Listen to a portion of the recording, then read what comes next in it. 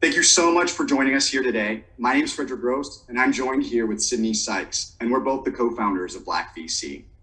And we're here today to introduce what's about to be an incredibly powerful conversation with leaders in the venture community. We've been lucky to get to know these investors as speakers and as mentors and as friends throughout the last five year journey that Sydney and I have been on in building this incredible organization that is BLCK VC. And while today BLCK VC has gone above and beyond what we ever originally thought about it, at the core, the conversation today goes at what we originally were hoping to build, which was a community of like minded investors willing to work together, have honest conversations, and share the playbooks on how to be successful as fundamentally great investors here in venture capital. Today, BLCK VC has grown to be the largest Black venture community in the United States with six chapters across the country. And it continues to just be an incredible honor and privilege for Sydney and I to see the community and to serve the community as it stands today. BLCK VC is built on three core pillars. The first is growing the number of Black venture investors in the community. The second is ensuring the success and the promotion of those investors and with the goal of ensuring that we're growing the number of actual Black check writers in the community. And the last is focused on being stewards of community data. And it's this last pillar that we're really excited about diving into here today. I'd like to echo Frederik's point in thanking you for joining us today. This event is a companion to the first inaugural State of Black Venture report from BLCK VC. This report is meant to illustrate the experience as well as the importance of Black venture investors, especially senior Black venture investors today. We've invited three speakers here today for this panel to talk about and illustrate that experience. We have Elliott Robinson, partner at Bessemer Venture Partners. We have Sydney Thomas, principal at Precursor Ventures, and we have Henri Pierre Jacques, managing partner at Harlem Capital. Elliott worked his way up to be partner at Bessemer after more than a decade of VC experience. Sydney, on the other hand, joined Precursor in the early days of the first fund and has grown with the firm and been promoted to principal over time. And finally, Henri, who started a firm after years of experience in finance to fill a gap that existed in the venture ecosystem. Each of these speakers represents a different path and a different experience for a senior Black venture investor. But they also represent important trends in the venture capital ecosystem today that are contributing to what we hope long term will turn into greater representation for Black investors. We also think this event today and these speakers will bring to life the data. These are not just individual anecdotes, they're examples of trends we're seeing throughout the ecosystem. We urge you to not only watch this event and listen to these speakers, but to download the inaugural State of Black Venture report it has incredible pieces of information around how the Black venture experience has expressed itself, as well as the trends and what we see happening in the future. We also encourage you to work with us to continue to diversify venture capital and to help us create a community for the future of venture capital. Now, I'd like to hand it over to John China, president of SVB Capital. Silicon Valley Bank has been an incredible partner and they were crucial in creating the State of Black Venture Report. John's going to talk a little bit about what the State of Black Venture Report means to Silicon Valley Bank and why they thought this topic and this report was so important to our ecosystem. Hello, everyone. My name is John China, and I'm the president of SVB Capital. As the bank of the innovation economy, Silicon Valley Bank is the go-to financial partner for founders and investors in the innovation ecosystem. Given the strength of our position, SVB is actively working to drive diversity across the entire ecosystem, and we are so proud to be the founding partner of this first State of Black Venture report. Our goal is to promote a deeper understanding and inspire ideas to promote positive change. We encourage you to read the report and think about things you and we collectively can do differently and can do better. I celebrate the report finding that Black venture investors are making their own paths to success and working to create even stronger networks. The number of Black check writers is slowly increasing, in large part because they are launching new funds. About a quarter of them have just started a new fund in the past two years. Black investors have an outsized impact on the next generation of Black investors and founders. Half are actively mentoring other investors in the BLCK VC community. Still, systemic barriers remain. Black investors have more capital influence today, and they are leveraging their networks to open up new opportunities for themselves and their communities. Still, Black partners and fund managers continue to face significant fundraising and investing obstacles. We must do better. Here's my call to action. Let's work to change perspectives about who makes a successful entrepreneur and investor and blow up the boulders holding back progress.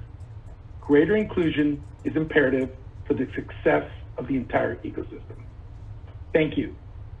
Thank you so much, John. Thank you so much, SVB. It's been a pleasure to work on this report with you all.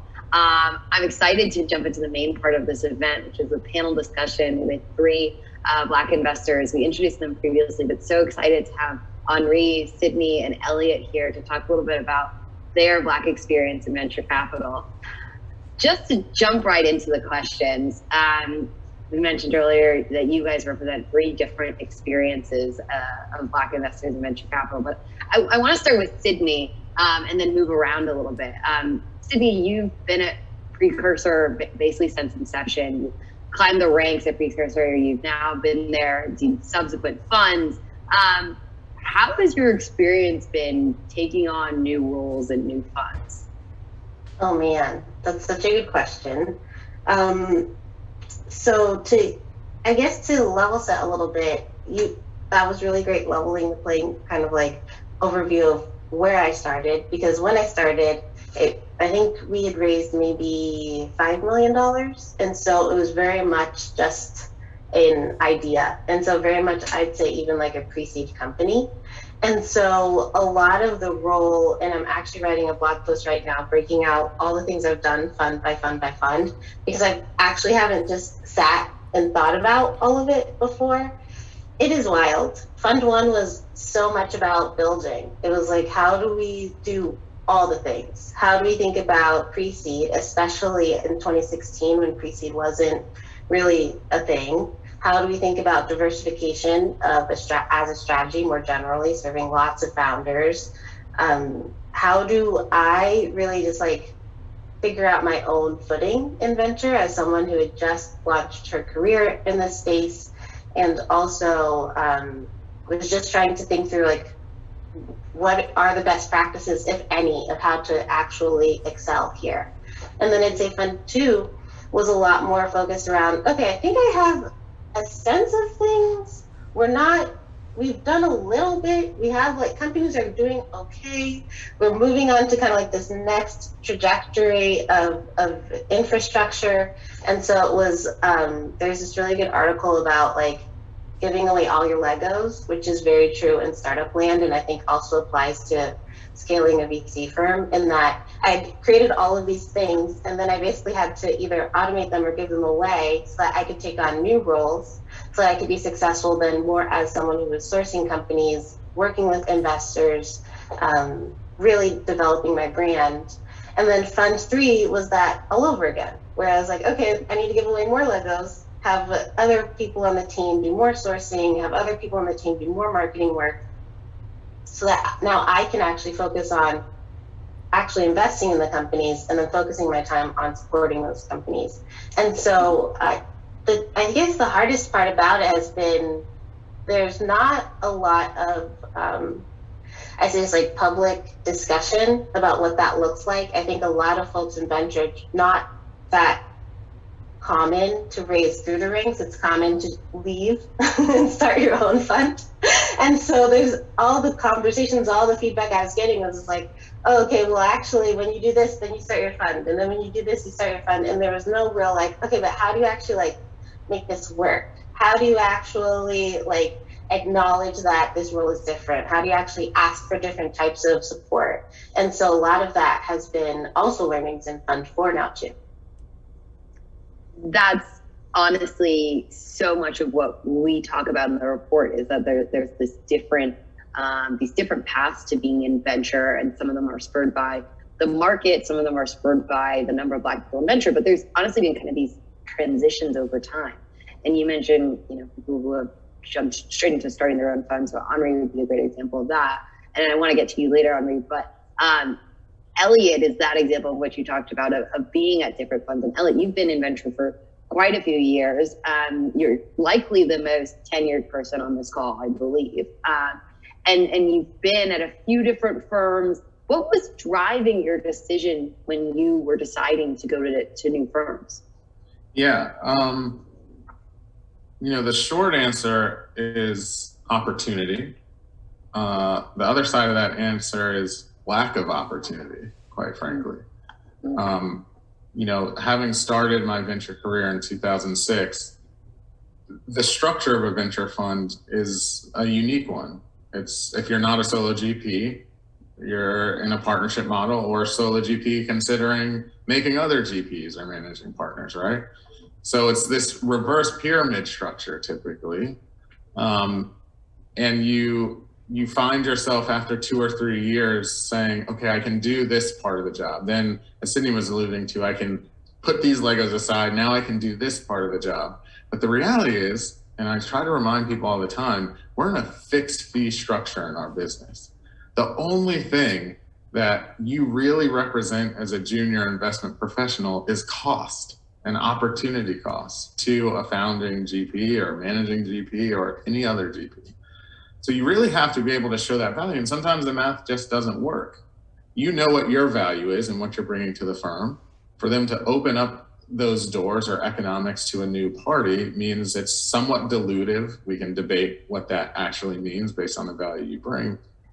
But as I went through a couple of three and four and five year stints at other firms, I saw a lack of opportunity to have the the control and economics and decision making power that I wanted. Um, but you know, I also saw an opportunity in going to Georgian Partners of moving to Toronto and getting, although it's not like the most international uh, kind of experience, it is a totally different investment landscape. And quite frankly, it's how I got to know Bessemer through a co-investment in what at the time was a small Ottawa-based company called Shopify which turned into like a great outcome for everyone involved. So, you know, it, it really was as a black, excuse me, a black investment professional, you know, there's a real nuance as to what opportunities exist in larger funds as you rise through the ranks. Uh, and quite frankly, um, back in 2010 or 12, when I wanted to test the waters of raising my own fund, it's also worth mentioning, and then I'll shut up I focus on growth stage companies. So the average investment for me is probably a 30 to 40 million dollar check. I've gone as small as 17 and as large as 175. So for me to go build a portfolio, I need to find an LP base that's comfortable with me and maybe one or two other folks, raising probably three to 500 million out of the gate. That model doesn't exist for us, or at least back then, it did not exist for us. I had LPs running through the door in my email saying, I want to back you. Here's a, a $3 million commitment. Here's a $5 million commitment. And that's awesome. But it's so shocking that they're willing to back me for a strategy and investment practice that I had no track record in. I'm not cool enough to be a seed investor. I don't have the clothes. I don't get invited to Miami. You know, I do growth stage, enterprise SaaS, and digital health for the most part. And when I took that pitch to the LP community saying, hey, I need three to 500 out of the gate to build a portfolio of 10 to 15 companies, highly convicted 20 to 30 million dollar checks, there was just no interest. And I think to date, there still hasn't been interest for that play for us. Um, perhaps in the future that that play exists and we're doing a lot of work to make that happen. Yeah, that, that's definitely like something I want to dive into later because there's this question of what does opportunity look like now, even if Black people are able to raise funds, you know, more more able to raise funds. Um, can they raise the types of funds they need to or want to? But but first, I want to give Henri a chance to sort of react to what's been said because Henri is sort of an example of someone who was able to to start a fund. You know, I guess one would love to hear your reaction to what uh, Elliott's been saying, but also want to hear: Did you ever think about going to join a fund as a, a route to reach your goals? Or did you always know that starting your own fund was the right track for you?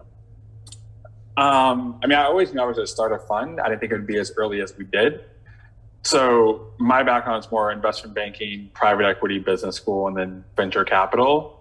So we started the fund six years ago as angel investors. So Jarrid and I, my partner, worked at the same black-owned private equity firm.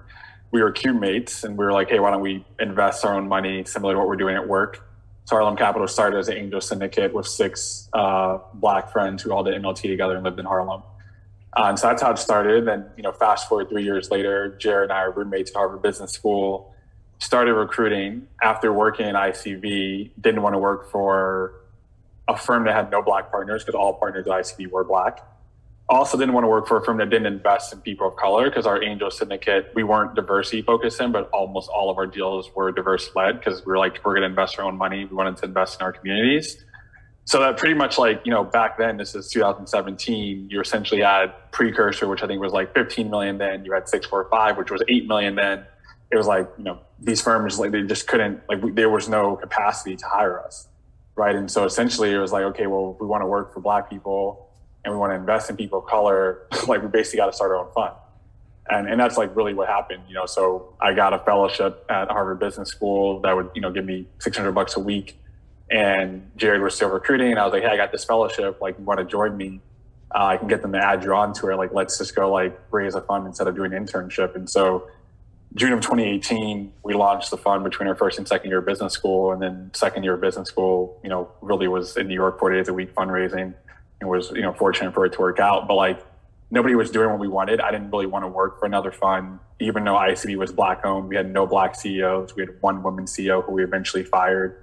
I was tired of investing in, in white people in Iowa and middle of America. Uh, you know, it's good money, a lot of lessons. And I think there's a lot of value from being black owned, but I think I wanted the next level. Like I wanted to be diverse owned and diversity focused, and they just didn't exist. And so for me, I wasn't really doing venture capital because I like wanted to be a venture capitalist. It was just I knew from ICV because ICV actually started. It stands for Inner City Ventures. So ICV started in 1998 as a black-owned private equity firm to invest in private equity companies, right? And eventually it pivoted because they realized there wasn't enough of a market to invest in diverse companies that were 10 million plus in EBITDA. Um, and so I knew just from that ICV experience and talking to Willie, like, hey, if we want to invest in people of color, though I come from private equity, like there's not enough capacity for me to raise a fund today that's focused on people of color at the growth equity stage. Right. And so uh, to some extent, like we were forced to go early stage because we just, we were more obsessed with the problem than we were the market. And where the problem the market existed was early stage for people, people of color.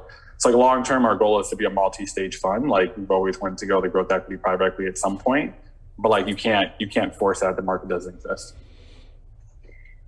That's that's what we saw a lot in the report as well, or, or in the the survey results was even if there are more black investors starting firms, more black investors becoming partners, mostly because they're starting firms or joining earlier firms, it's often the result of a lack of opportunity elsewhere. Okay, I, I couldn't um, go to this larger fund and do the type of investments I want.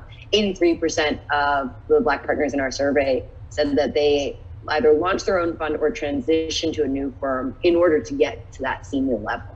Um, and it sounds like you had a very specific thesis as well, and there was a goal and there was um, opportunity based on the work that you were doing. But there was also this issue of supply constraint in the market. Um, you know, there's just not enough firms that are doing or able to do what I want to do. Um, you know, I feel like that really relates to what Elliott was talking about earlier in terms of the late stage investor. Uh, I'll, say it bluntly, and then I want to hear you kind of go off on this. Because I know you're an expert. Why do you feel like there are so few black check writers in the Series A and later investing yeah, I mean, I, I can just give you one person's perspective. Um, mm-hmm. You know, the industry is just filled with a bunch of bullshit diversity theater. Like that's that's just the real answer. Um, you know, I think I was quoted in the Washington Post in 2020 for saying there's a big difference between partners and partners. And I think we've made a lot of partners recently who have titles but no check writing authority. So it looks great in the press release. It even shows up in some of the reports and research and improvements of what's happening in venture. but nothing's not, nothing is way too strong. Very little has changed um, beyond the titling, uh, and it certainly hasn't necessarily changed in the roles, responsibilities, and then ultimately the economics, which has huge downstream um, effects. The, the real answer is it starts with the LP community. Uh, that's like honestly the real answer. Um, you know, I do have to give a shout out to Willie Woods. He was one of my early mentors, um, also a Morehouse man. Uh, I started my career at what is still today the, the largest and most successful black owned venture fund in Syncom Venture Partners. And it was always baffling to me. Like we had all the returns, all the things where I'm from in Virginia, we call it go fetch a rock. And what that means is we had the team, we had the tenure, we had the returns, we had the portfolio companies, but LPs would still um, treat us differently. We were still in the emerging manager program 34 years into the fund's life. Like, what are we emerging from? like, basically, it's just a room or a line or a separate water fountain you have to go to because they don't see us as equal when it comes to being stewards of their capital. So, you know, this is a long, long, long uh, round trip story, but one of the things that I think is most important for folks like myself and Sydney and Henri and, and our colleagues is to make sure that as we achieve and as we scale and ultimately return capital, the very thing that we have this partnership structure to do, uh, we have very honest conversations with them about funding the ecosystem, not our funds, not our investment practices or our individual companies, but the ecosystem. Um, I'll end on this that the best days that I can have, I started my day uh, texting with a dear friend that we all know. I'm not going to put them out there, but they're raising a new fund, um, likely more than twice their size of their last fund. And the ability to call on shared LPs where they might be 50 million in my fund, but now we can get them to be five or 10 and, and a sizable fund. That's the best day that I can have as a, as a tenured black venture capitalist, because that's how the ecosystem changes so that when I'm thinking about the next career move or Henri is in business school thinking about, do I start a fund? Do I go get some experience or Sydney the same thing? There's capacity. That's really at the heart of your question. And if the LP dollars aren't there, no matter how smart we are, no matter how networked we are, no matter how great we are, there won't be capacity to rise the ecosystem in the way that I know we all want to see it be, you know, even five years from now. Yeah, I, lo- I love that Elliott called it the, the, the bullshit theater because now we're getting real. Um, yeah, I mean, you know, I think it's it's it's similar for every industry, right? So like, what I think about when I was in banking, my group had 45 people. I was the only black person, 45 people I just had dinner last week here in Miami. Um, my some of the former bankers moved here, so there's one black MD in all of Bank of America today. Uh, there were two black directors. Now there's one, and both of them live here. So we had dinner. And it's like I was the only black analyst. This is the only black MD. This is the only black director. Right? You think about the same thing for private equity. There's one black partner at TPG. There's one black partner at KKR. There's one at Blackstone. Carlyle has none. Apollo has none. Right? This is like there's every asset class, like it's it's an issue. And I think part of it, which is why another reason I wanted to leave, because I realized like and then those black partners at those funds, like are not even partners in the main fund, which you know, to Elliott's point, we call big P partner versus little P partner. Right. So you've got a bunch of little P partners who aren't even partners in the main fund. They're whatever real estate fund or some side vehicle, not the main fund. And so it was just very apparent, right? And the same is true for Fortune 500s. Uh, I think there's less black CEOs today than there were 20 years ago. Um, and so I think it's just it's just like corporate America right? And whether it's you know racism or hierarchical structure, it's like I think it's just been proven time and time again. And I think we're at a point now, which is why you see so many fund managers. I was talking to a fund to fund; they have hundred diverse managers they're looking at now that are raising funds.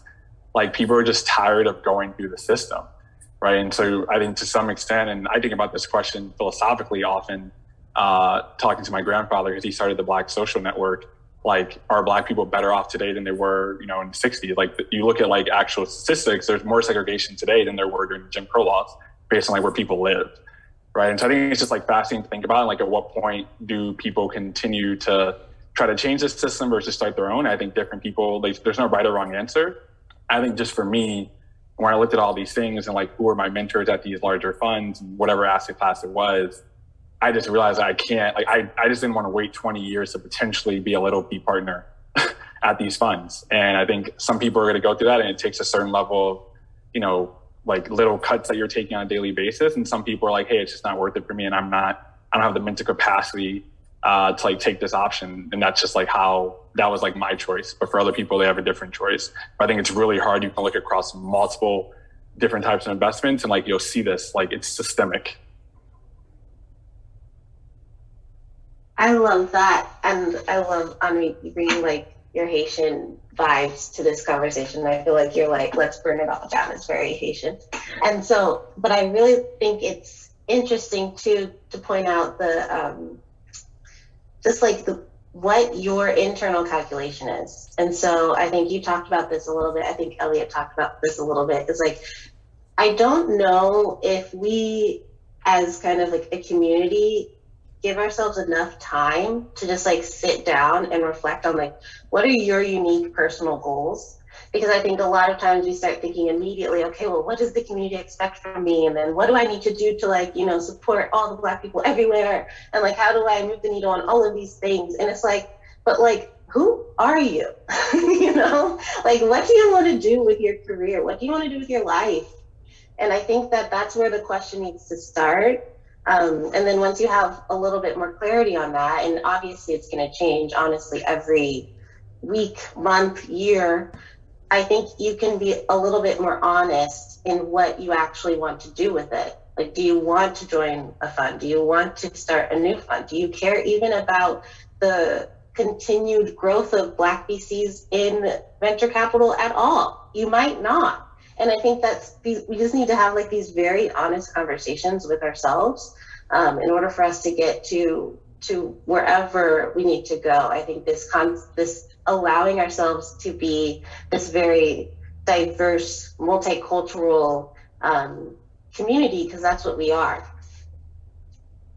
Yeah, th- there's this age-old debate in the Black community around um, when when can I do what's right for me, it feels like there's so much onus to do what's right for your community and the allies around you and, and you know the, the white people who have supported you and and the schools that have, have taken you as far in spite of the some of the toxic energy that happens around that related to race. Um, and i think all of us have experienced going that extra mile. I mean the, the thing i was saying to, to fred the other day um, before Black History Month is, oh, it's almost Black History Month. I'm about to get twice as more, twice as busy. I am about to have another job somehow. Um, and one of the things that, that came across in the report, just to bring it back around and, and stop the venting, is that uh, we found that over 50% of Black partners are actively mentoring or hiring Black talent.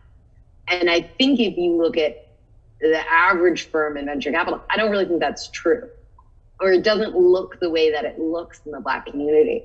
And so I'm, I'm curious for all of you. I'd love to start with Sydney, but what it, what have black mentors done for you? And also, I guess, what is that that standard or that um, subliminal onus meant for your experience? It's a great question. And I think that um, also at the beginning of my career, there were so many things that I was telling myself too. I you guys remember 2016 slash 2015 BC. It was just a different world. And because of it, I was very, very extremely self-conscious about my race and my gender. And so I took all of the feedback that I was getting from each one of these kind of like micro interactions, trying to sort out like all of the different pieces, like, oh, when they said this, this, did they really mean this? And then if they did this, does this really mean this? And because I had no connection to VC, um, my background is actually in the public sector. And so when I was making that transition, I was cold emailing and cold LinkedIning everyone. And so I treated it much like a sales process. I cold emailed, you know, hundreds of people. A percentage of that people got back to me, and then a smaller percentage of that people actually wanted to see me IRL, and then a percentage of that people were actually useful. And um, some of the people who got back to me early on were black people some of the people who got back to me early on were jewish people they were but they were all people who had a um, experience of being discriminated against in some way shape or form And the way that they showed up to me, showed up for me, was honestly giving me the space to actually tell my story, refine my story, um, ask for things. And that's how I was, you know, pushed in the direction of hanging out with Freada Kapor, who then actually introduced me to Charles, who at that point was doing a lot of things. And so I basically also treated my relationship with him very early on as a sales process. I called him every month and basically was like, Do you have a job for me yet? And, you know, no. Next month, do you have a job for me yet? No. Next month. And I did that for six months. And even then, I got a part time job. And so, um, but I got a job. And so I milked it for all it was worth. And I think that as I've grown within BC2, so much of kind of the ability for me to both, I think at the early years, I took a lot on about mentoring younger folks in VC because I was like, oh man, I got my foot in the door. Come on, come on. You know, like I just opened the door a little bit, like run through with me. And eventually I realized how um, much more I guess, valuable it would be for me to actually write. And so I actually transitioned a lot of my work of mentorship from having these one on one calls to actually just sharing out what I've learned via writing. Because I think that's one thing about Venture 2 that is just really weird is that junior people don't talk. They don't talk publicly. There's a lot of this kind of like cone of silence that I see that once a junior person gets into a big VC firm, they can only talk about the deals. That's it. Or like their idea about a research project. They can't talk about what day to day life is, what they learned in the last week, um, how they're thinking about their next role. And so I wanted to be that for folks where I could actually share very publicly and very openly and very honestly about all the good, bad, and the ugly with the hope that it illuminated the path for others as well. Yeah, um, I, I think that the, those are such good points. I wanted to quickly bring it to Elliott the same question. You mentioned being at one of the oldest Black led venture firms. What role did mentorship play for you? And what has that experience been like now that you're a, a senior person? Man, there's so many things I'm going to try to squeeze into two minutes. Um, so, look, the, the only question that I, it's a two part question I ask myself every morning uh, when I'm brushing my teeth and every night when I'm brushing my teeth. And it's, am I proud of what I did today? And did I ride for my people? If I didn't accomplish those two things, then I fucking failed. Like that, that's just how I think of it. You can decide where you live on that spectrum. You can be off it or somewhere on it. That's fine. That's how I think about my day. Um, so what does that what does that mean? Uh, that means as you go through your venture capital career, one thing that I think is about to happen that a lot of folks aren't ready for. Um, we've gone through this up into the right market dynamic here for the last seven or eight, maybe even 10 years. I started my career in 2006. Um, you know, I shared something around Black History Month around my first investment where I actually got to lead it, present it, stood up in front of my LPs and presented this deal. One of the largest investments in Syncom's history And a company called Clear Security. You see it in the airport or now at stadiums. Um, invested in the company, and within six months, the company was bankrupt. Now, if you really want to know what mentorship means to you, you stand in front of your partners, your LPs. And what happened was, you know, the 08, 09 collapse happened, is what happened. And this, the biggest customers were Wall Street banks and consultancies. And they all turned away from being customers. I basically moved to New York for three months and tried to turn the company around, and successfully the company did turn around. But man, the mentorship I got in like the hardest market periods around my own, you know, we all deal with imposter syndrome. You make investment decisions, you write about it, you tweet about it, you blog about it, you talk about it, and you don't know if they were the right decisions for five to seven years. So you're always trying to figure it out in the middle. But when something fails, like abject failure, I believe that's when when mentorship really, really means something. So I think we're unfortunately about to enter a period where people have all these paper marks and raise these like crazy price rounds and some reckoning in reality is about to happen. And having mentors to help guide you through that that place uh, is going to be abundantly important. And then the last thing I'll say is just about the community and what it means to mentor someone who's about to wrap up their 16th year in venture capital. If there's one thing I've learned from uh, MLT or Toigo or Kauffman Fellows, it's this whole idea of you know finding your superpowers or your zone of genius. Um, and I believe that for people who come from where we come from, who are black in venture capital, you will never achieve applying your zone of genius or superpower until you really, really get comfortable with being your full self in this ecosystem. And it's tough. Like there's there's some reality and some trade-offs to doing that. I fundamentally am myself. I wear J's to work every day. I've got my DJ equipment in the office because that's who I am. That what makes me most comfortable and happy. So the people that I, I mentor, particularly people of color and, and women, it really like if you don't know how much energy you spend trying to be someone you're not to fit into this ecosystem. And until you have someone who's senior enough to look at you and tell you you're the smartest fucking person in here, but you will not achieve your your full potential until you get comfortable. And I, I got your back on being fully comfortable. Take all that energy from trying to be something else and fitting in and be a cultural add. That's one thing that I talk about a lot is don't try to be a cultural fit, be a cultural add. But you got to be really confident in, in what that means for you. And, and hopefully, to go back to your question, you've got a mentor or someone who can help you uh, kind of walk that walk and live that experience. Yeah, and I think the way I got into venture, so the summer between private equity and business school, I had three months off. I had never worked in venture intern. So I literally, which is actually how our diverse founder report, our VC report started. I scrubbed like as many black VCs as I think I found like 75 people. And I ended up talking to like 35 that summer um, in order to like prepare for, for VC fundraising. And then like my friend Megan Maloney, who used to be at GC, and then Kai Bond, who was at Comcast at the time, uh, Aaron from 645. Like, I was like, this time I met these people, it was like through LinkedIn DMs and uh, messages. And like, literally that summer, I was just on calls and hearing their experiences and like, what is venture like? What does it mean? But like, I wanted, from the beginning, I wanted a black experience. I wanted to be at firms that had other black people. So I only taught the firms that had black people that I knew. Uh, and so that was really helpful just to like get that mentorship because even in banking, like I was the only black person, but I did SEO. And so like I knew the only black person of every group at the bank. And so like we would meet up for lunch or like go walk on their floor. And so it's like you're the only one, but at least I had other people in the same building. So I was like, I'm not going to be the only one at your firm. That's just not going to happen for me.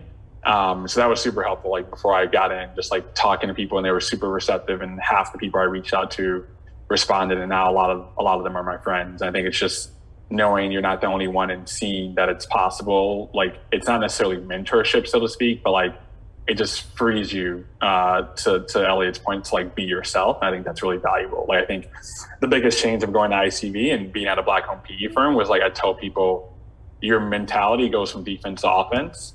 And you don't realize how much energy you waste trying to be defensive and like think about things like, did I make the wrong mistake? And once you're at a black owned firm and you're offensive and like I'm just doing whatever I want and not ever like questioning, like, are they to not hire another black person? Like, how do they view this? Like I was just like I was crushing it like at a whole different level. Uh, and so I think once I got that experience, I was like I want to be in environments that like make me offensive. There, there's a lot of burden on people's shoulders to feel like they have to represent for for other Black investors, for the Black entrepreneurs, for kind of everyone in their community. And so, what can the Black community do when you take away some of that burden?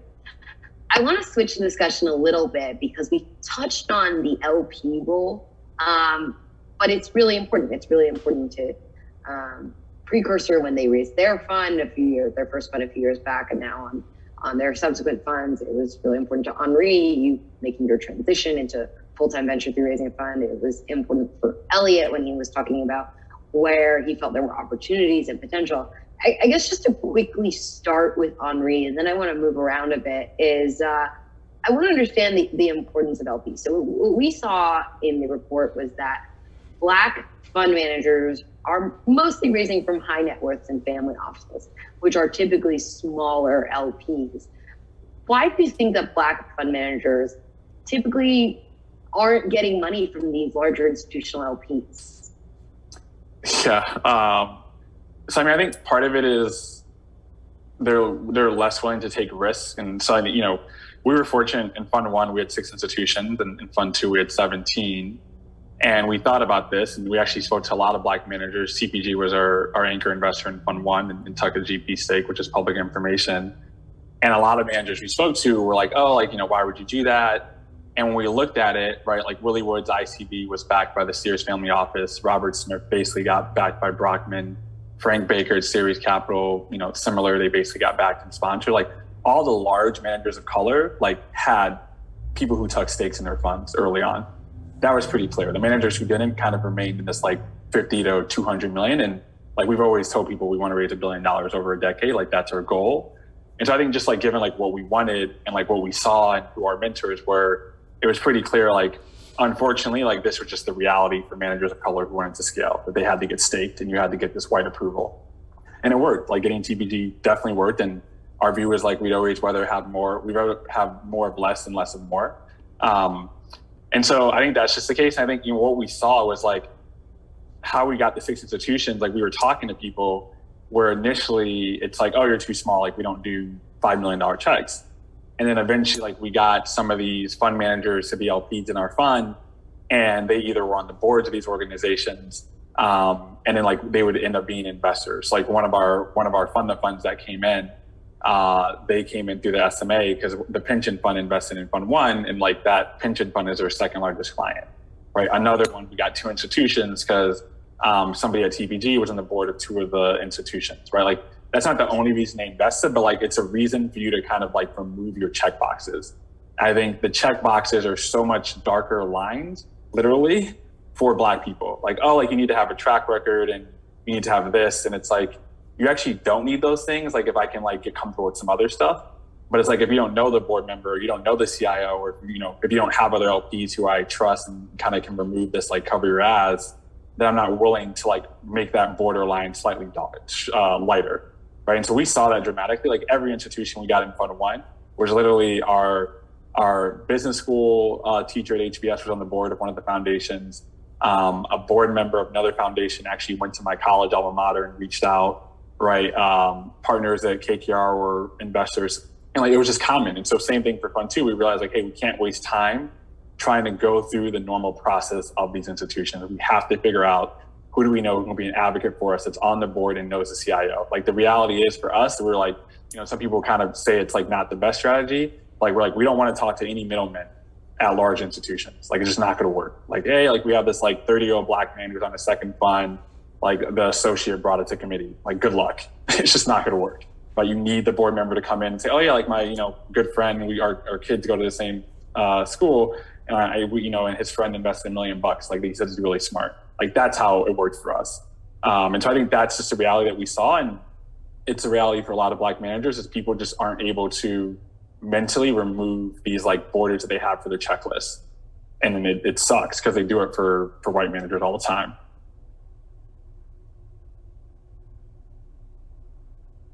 I think that that's such a good point, Henri.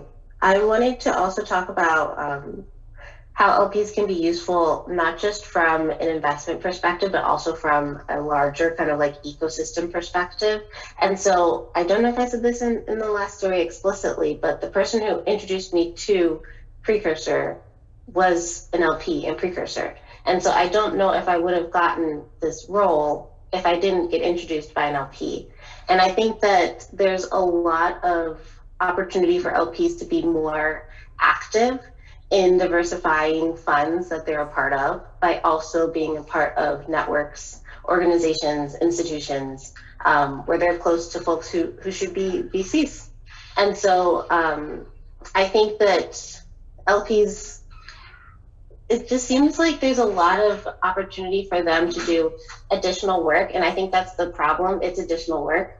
Um, but I think it's also additional impact that they could have if they stepped up um, a little more across not just being investors in funds, but also being a part of the fund strategy more generally, especially as it comes to um, diversity. I, have been holding back here because I have very strong thoughts um, and will uh, self censor some of my stronger thoughts. I think it's worth taking a, a little bit of a step back and just really examining and, and reminding ourselves where a lot of these dollars come from. Like, uh, yes, we deal with middlemen and fund the funds many times and fund managers, but a lot of the dollars start at the state level, at pension funds, at the city level, at pension funds. You pick some of the bigger states, California, uh, Texas, New York, a lot of those dollars are created on the backs and careers of people that look like us. And then there's this conversation at the board that doesn't look like us, or the investment committee that doesn't look like us. And less than one tenth of 1% of those dollars allocated for alternative asset managers then go in the hands of managers that look like the people that created the dollars in the first place. you really have to sit there and think through that cycle and how that money doesn't flow. Um, so for me, everything that was said is is correct. But what really needs to happen um, is a renewal of what I saw at the beginning of my career, kind of the tail end of more political advocacy from fund managers like ourselves, uh, from our advisors who get dollars from these pension funds that we don't. Um, and in concert, we have to be able to put pressure on these folks to say, hey, this system is broken. Like you cannot take pension fund and pensioner dollars from people that look a certain way in your city, in your state, in your ecosystem, and then not disproportionately, like almost 100% allocate it to people that don't look like those folks that created the pool of capital, that then only invest in people that don't look like the people that create that capital, which ultimately builds wealth in communities where the dollar wasn't rooted in the first place. Like you really have to sit there and think through that. And once you do, it's kind of up to us to come up with a plan to, to change that. Um, because while some of us might have connections, I'm lucky to do many of the org- organizations or schools that were mentioned, the majority of us don't. Um, and un- unless we start where the dollars are rooted and, and try to come up with a plan to change that or at least ad- address that in concert, my big fear is that the funds that had success fundraising post George Floyd, that it's moment in time capital. And those LPs said, okay, well, now's a good time for us to take, you know, half of 1% of our AUM that we allocate. Let's go find some black managers. Let's do the thing. And now that the market's getting a little spookier, paper marks are coming down, liquidity is coming down, our allocations are shifting away maybe from alternatives because we're overweighted there right now that moment in time capital is gone. And then what happens when you need to raise the next fund? Um, so I think it like all of these dynamics have to go back to the root of where the dollars start. Uh, and that's probably a whole nother Zoom call, but I, I think it's hard to have this conversation without at least illuminating that dynamic. But how do you guys think about doing this? Because I'd love to get involved in something like that. Um, I don't know if it's BLCK VC. I don't know if it's one in addition, like so just someone takes up the mantle. I know Lois talked about this a lot, a lot, and I've talked to others who have, who have just like brought this idea to to bear. And I'd love to hear like, how do we how do we do this? Let's go. I'm in. yeah, I, I, think it's just putting together a consortium, and, and we kind of have to do a bit of a roadshow. Like it, when the time makes sense, and maybe not everyone can go to every meeting, but we got to sit down with these cats. And it's not just the investment committee managers, but it's politicians, it's people that really influence their world, and getting everyone to sit down. And honestly, the power of uh, I think the internet actually changes this experience from even 16 years ago or 17 years ago when I was seeing the prior generation of venture capitalists try to have this. The difference is when we have these conversations and these meetings, they end up spreading wide when I started in 2005, 2006, like we were having meetings on Capitol Hill. Shout out uh, Bob Greene at NAIC. He still does this work. Um, but it's just like there's a bit of a disconnect from that generation and ours, where I think they've got awesome perspectives and experiences. We've got different platforms and different reach and different ways. And we really just need to sit down um, and, and kind of chart out a plan. Because, like, if we don't make some of these structural changes and advancements, we're going to have this Zoom call for the next 15 to 25 Black History Month panels. And, and it'll go up and down, left and right. But, you know, the last in my seat, I get questions from LPs all the time, meeting with Roman numeral one, two, and three investors that are awesome, some of which are on this call. And the first question I get is, well, what's the difference between Harlem Capital and Precursor? And like, we've got to like, we've really got to like start at the root of this thing because that is an, an offensive question, if you ask me. I mean, it is a question. It's very offensive. Yes, but it happens all the time.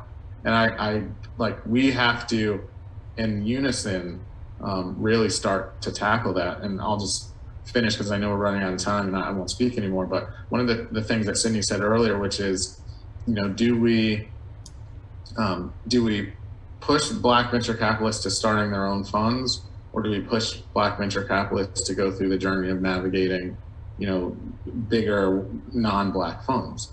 I think that answer is we have to do both. Again, we have to do it really effectively and do it collectively and lean on each other to make sure that everyone's successful, regardless of the path that you choose. But in, in order for the ecosystem to work for capital allocators and then ultimately founders, it's got to be on both sides. Um, so this is, you know, a good reminder. I think that we need to, while managing our funds, manage kind of the movement uh, and as well as kind of the ecosystem that we're all trying to see, you know, five, ten years from now. So we, we can't wrap up Black History Month in a question, but if we could, I, would love to hear each of you just take 15, 30 seconds. What's making you nervous right now, and what's making you excited right now about the trajectory of venture capital? Um, and I'll, I'll start with Sydney, and then would love to hear from Henri, and then Elliott. Oh man, nervous. Um, I've actually been, I've I've just been really happy over this last month or two with all of the growth in um, the absolute number of Black investors, the, uh, the growth of Black funds, the number of Black funds. It feels like something's changing, um, at least to me. And so that has given me a lot of calm. I think, especially as I think through, um, you know, backing Black founders, making sure that I have communities of Black investors on every stack. There's still a lot of there's still a lot long way to go, but like Jessica Patton just announced her fundraise at 5CP a few days ago, and it just feels like there's there's something in the water that's changing, and so that feels good. And so nervousness is, I think, and I think actually, Henri, you might have tweeted up this a few days ago. It's just like how do we continue to just um, continue to keep it up? Because it's a lot of work. And so, how do we do this sustainably? How do we be thoughtful about the pressure that we're putting on ourselves and others? How do we take breaks? Um, because this is not this is not a one year thing. This is a lifetime thing. This is a multiple lifetime thing. Awesome. Um, nervous, I would say, like that people are going to want to do this for a long time. People, black people, it's a really long game. I think you know, venture and startups like it's sexy now, and there's a lot of capital toward us, and you know, we see a lot of emerging managers um, since we invest in funds on the side now too, and like my number one question is like, okay, great, but like, why are you uniquely qualified to do this? I think sometimes that answer isn't that strong. It's kind of more like I want to help black people, but like why through this method? And so I get nervous about that because I know, you know, the reality is you, you hear you talk to John Rogers of, you know, Ariel Management when they went from whatever it was, 32 billion of AUM to like four or eight billion post the recession, right? Like black people managers like will always get hit worse in downturns, right? And so I think, you know, the you kind of have that that knowledge and, and Willie from ICV told me like you always know like there's that extra pressure, like particularly like we're like super public, right? Like if Harlem Capital fucks up, like I know the impacts are going to impact a lot of managers. Similar to like Elliott's point when we were fundraising Fund One, like the number one question we got was like, how are you different from Backstage, right? It's like, well, they're in California and like there, you know, there can't be two black funds like in the entire country, right? Like so, it's just a reality, and so you know it, and so it's an extra weight, and so I get nervous that some black managers don't understand that we and like the downstream implications, you know, for better or for worse. It's not like we should put that extra pressure on ourselves. But it's a reality, and if you get you know big enough and you're public enough, like we are, like there will be impacts regardless. And so I, you know, I, I bear that burden, but I don't know if some others do. Um, what makes me excited is I think there will be more black unicorns this year than all years combined. Um, and Sisu went in, you know, in January. I, I know of one that will probably happen this month as well. And so I think there's going to be a lot, and that makes me excited that there's more growth equity happening for black founders. I think it's going to be a really big year, even with the markets down. I think there's a lot of black founders who are well positioned, um, and I'm excited to see more capital going uh, into their their hands. Yeah, I mean, without a doubt, the biggest fear I have, and Henri touched on it, is that as a lot of the projected liquidity is coming back because of kind of multiple contraction and the market pullback, LPs are thinking differently about the next one to five years of deployment in alternative asset managers. And typically, if you look at the last two big cycles, that those dollars or what's left um, or what they allocate they typically go back to what they knew. And those are funds that have been around a long time, managers that they know, managers that have returned liquidity. And what's happened is in the past three to four years of really, you know, big leaps forward for fund managers of color, particularly black fund managers, is we made awesome investments. Those investments have raised follow-on capital, paper marks exist. But if either the pathway to liquidity is pushed out by a year or two just because like the markets are choppier or some of those paper paper marks don't hold the same weight that they did. My fear is that what i saw happen in 0809 is some folks don't make it. Um, and again it's why i think us as a collective sitting down with some lps and talking about that before it happens uh, is actually really important. And the only other fear that i have is i'm a little nervous about the rise of the digital persona in venture capital. Um, that's probably more kind of race agnostic. But one thing that's really unique for people of color is that people not of color like to back stories, not necessarily people or investment practices. And I'm, I'm increasingly nervous when I talk to um, Caucasian, primarily fund managers or high net worth people who want to back stories because stories are moment in time. They're not necessarily institutional. Stories change, they evolve. And the story that you might present today might be very different three years from now for whatever reason. And I'm, I'm very nervous um, about how that evolves over time. And what I'm most excited about is the rise of Black women in venture capital, like without a doubt. Um, you know, you mentioned Megan. Megan was the first person I talked to this morning. Um, there is just like the talent pool of Black women in venture. I'm not going to say ages here. Let's say tenured between two and 10 years of venture capital is just fascinating. It's powerful. It's phenomenal. I've been really lucky that in the last seven years of my career, women have totally outperformed the men that I've been investing alongside and working alongside and seeing the rise of black women and how they're they're changing the game is what I'm most excited about. Thank you so much, Sydney, Henri, Elliott, for joining us today. This conversation has illustrated so powerfully the points that are outlined in the State of Black Venture Report, as well as the importance and challenges and accomplishments that Black venture investors are experiencing today. I'd also like to thank Silicon Valley Bank for partnering with us to create this report. Their help was instrumental in producing it. I'd also like to thank our sponsors, without which BLCK VC could not have gotten to where it is today. They have been instrumental to the success of this organization. I encourage you to go download the State of Black Venture Report on the blackvc.org website, as well as to look there for our programs, sponsors, and additional information. Thank you all for coming today. We look forward to building the future of venture capital with you going forward.